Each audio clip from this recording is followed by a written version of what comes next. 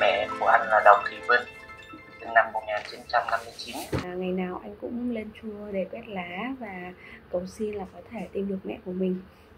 Chào mừng quý vị khán giả và những nhà hảo tâm thân thiết của như chưa hề có cuộc chia ly. Hôm nay như chưa hề có cuộc chia ly nhận được một cuộc gọi từ anh Hoan đi tìm người mẹ thất lạc của mình. Dạ à, em xin chào anh Hoan ạ. Dạ em giới thiệu chào em. Dạ. Chào ekip chương trình ạ. Dạ vâng ạ. Em là Lan Anh em là biên tập viên của như chưa hề có cuộc chia ly Dạ, em xin phép mời anh giới thiệu về anh cũng như là cái câu chuyện thất lạc của anh và người mẹ của mình ạ. Ờ, anh xin tự giới thiệu anh là Nguyễn Ngọc Bá Hoa, sinh năm 1988, năm sinh thật là 1987. Anh muốn tìm mẹ của anh là Đồng Thị Vinh, sinh năm 1959. Dạ.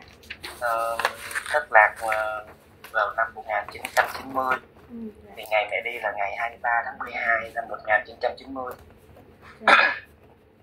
thì khi đi là mẹ mẹ đi uh, tại địa điểm là xã Nhã Nam huyện Tân Yên tỉnh Bắc Giang vâng. ừ. uh, bên uh, nhà ngoại thì có bà ngoại tên là bà Cam anh cũng không nhớ là họ tên nhưng mà cũng lớn tuổi lắm rồi cũng mới mất thôi ở quê của bên ngoại là ở Kim Tràng Bắc Giang dạ vâng ạ. Ừ, thì khi năm 1990 thì uh, gia đình có sự cố nên mẹ lên uh, Lạng Sơn để buôn bán. Còn uh, bố thì đưa ba chị em uh, của anh vào trong uh, miền Nam sinh sống. Từ lúc mà mẹ đi thì uh, hai bên nội ngoại cũng có liên hệ nhưng mà không có biết được thông tin. Ừ, lúc đó thì cũng do quá nhỏ nên anh cũng không có ký ức gì về mẹ cũng không có hình ảnh. Chỉ biết là mẹ cao khoảng một m sáu mươi bảy mặt tròn người đậm. Dạ vâng. Thì mẹ thường hay lấy hàng và buôn bán ở cửa khẩu Lạng Sơn đó. Ừ, thì sau đó thì uh, chị chị đầu là sinh năm 79 cũng lớn rồi cũng có liên hệ nhưng mà không có liên hệ được với mẹ rồi thì đó cũng không có điện thoại hoặc là không có một cái hình thức nào liên lạc hết ừ, dạ vâng. anh là có ba chị em là anh là thứ ba hay là à, anh là thứ ba bố anh là Nguyễn Ngọc Hiển sinh năm 1959 chị đầu là Nguyễn Thị Hằng sinh năm 1979 anh thứ hai là Nguyễn Ngọc Hưng sinh năm 1981 Dạ vâng ạ. Um, Như vậy thì uh, người chị lớn của anh và người anh uh, thứ hai á là đã lúc đấy là đã lớn rồi chắc là hai anh chị là cũng có ký ức của mẹ nhiều mẹ có thường hay kể chuyện là mẹ buôn bán ở trên đó gặp bạn hàng như thế nào mẹ hay buôn bán gì không biết cũng là có thông tin là mẹ có bạn bè bạn hàng ở bên Trung Quốc á à, đó, thì dạ. cũng uh, có thường cũng hay qua bên đó ừ.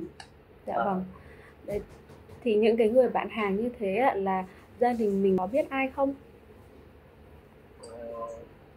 khoảng cách đây khoảng hơn chục năm thì cũng có nghe là một người bạn hàng của của mẹ ở trên đó thì cũng nói là ờ, cái thời điểm mà mẹ đi năm 90 á, rồi đến năm 91 á, thì có thấy mẹ xuất hiện ở trên đó thôi ừ. rồi sau đó thì uh, hai người không gặp nhau nữa cũng không có thông tin gì nữa dạ. à, năm 90 91 là mẹ xuất hiện ở Lạng Sơn hay mẹ xuất hiện ở đâu ạ? À, xuất hiện Lạng Sơn. À mẹ xuất hiện ở Lạng Sơn và cũng là đang đi buôn bán đúng không ạ? Đúng rồi. Ừ, dạ vâng um, nãy anh có nói là từ khi uh, năm 1990 ba mẹ không có ở với nhau như vậy thì um, gia đình nhà ngoại nhà anh cũng không có liên hệ với mẹ được luôn đúng rồi gia đình nhà ngoại cũng không liên hệ được thì khi các uh, đám dỗ hoặc là tết á, mẹ cũng không có về được à. không thấy mẹ về dạ vâng. thì mấy chị em cũng uh, thường xuyên liên lạc với những người ở quê ngoại á dạ. họ thăm thông tin nhưng mà cũng không ai biết hết. Ờ, trong nhà thì à, anh là người giống mẹ nhất. À, anh cái khuôn mặt của mẹ cũng vuông vuông góc cạnh vậy à dạ vâng ạ. Thế còn bên đằng ngoại thì sao hả anh? Bên năm ngoại thì có một dì uh, gọi là dì út đó, là dì hòa là cũng giống mẹ đó dạ vâng ạ. Dì hòa thì hiện tại đang sinh sống ở thành phố bắc giang. Dạ vâng ạ. Dì hòa họ tên đầy đủ là gì ạ anh? Uh, đồng thị hòa. Dạ vâng ạ mẹ anh là có bao nhiêu anh chị em ạ? Um, mẹ là có 8 có 9 anh chị em. Ừ, dạ vâng. Vậy thì chắc là em sẽ xin anh uh, cho em xin một cái ảnh của dì Hòa. Nếu như mà ai có nhìn thấy một người phụ nữ giống như dì Hòa của anh thì có thể là liên hệ với bên em. Có thể người đấy cũng là mẹ của anh. Em xin phép được tóm tắt lại cái câu chuyện thất lạc của gia đình mình như sau nếu như mà em có thiếu hay là sai thông tin gì thì anh Hoan có thể bổ sung ngay giúp em anh nhé. Dạ vâng ạ.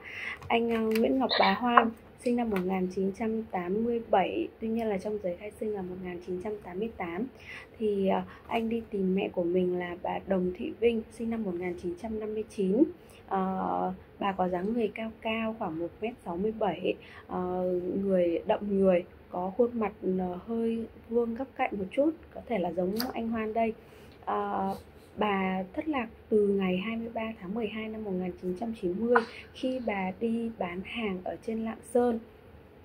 Dạ vâng, cũng có thông tin cho rằng là bà có thể là có bạn hàng ở bên Trung Quốc.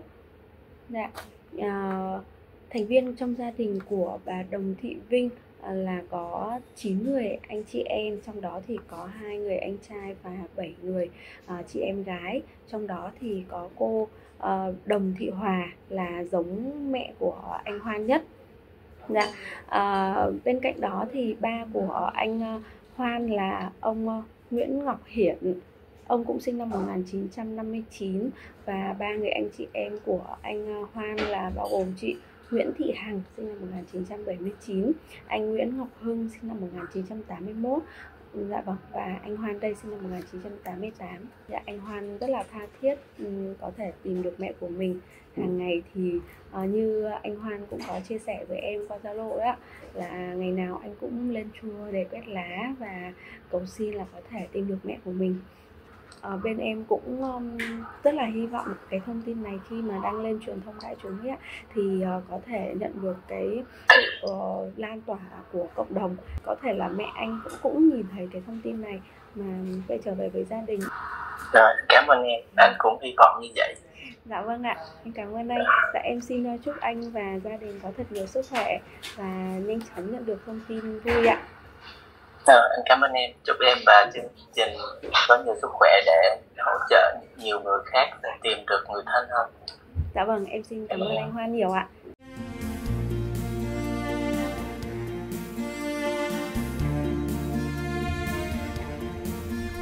Như chưa hề có cuộc chia ly tìm kiếm để đoàn tụ thân nhân hoàn toàn miễn phí. Mọi kinh phí hoạt động đều từ nguồn ủng hộ của xã hội như chia hề của Chile mong muốn trở thành hoạt động nhân đạo đầu tiên do các cá nhân nuôi nấng bằng sự tham gia đều đặn định kỳ. Bạn hãy góp sức để như chi hề của cuộc tiếp tục tìm kiếm và đoàn tụ cho những người Việt còn chịu ly tán. Hãy góp một ổ bánh mì mỗi tháng, tương đương 20.000 đồng một tháng để cùng làm nên 6 đến 12 cuộc tìm ra hàng tháng mà live show vào tối thứ hai đầu tháng sẽ là nơi diễn ra những cuộc đoàn tụ tiêu biểu như trong mơ.